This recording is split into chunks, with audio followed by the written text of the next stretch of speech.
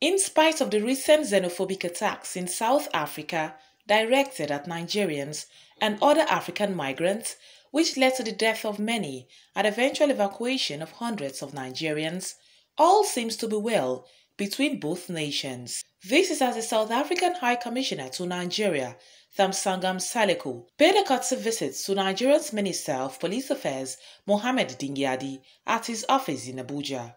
Speaking with newsmen after the closed their meeting, which lasted for over 20 minutes, both government officials said they discussed issues bordering on strengthening internal security as captured in the Memorandum of Understanding establishing the Nigeria-South Africa Binational Commission. This meeting is a kind of follow-up meeting to the last one that we held in October 2019. Remember the President of this country headed a delegation to South Africa where we had uh, a series of meetings, technical committee meetings and summit level meeting where the two presidents met and uh, discussed and agreed on various issues relating to the political and economic development of our two countries.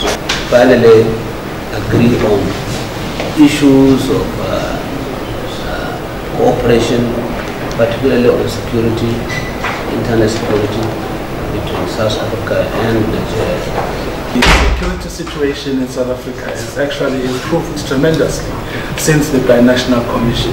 Police are reacting very well when those situations arise because they will continue to arise from time to time for various reasons.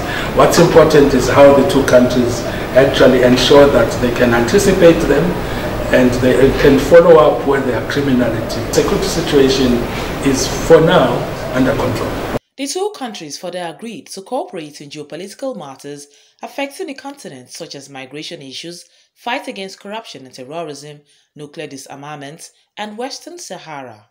Paulum David, CNN News.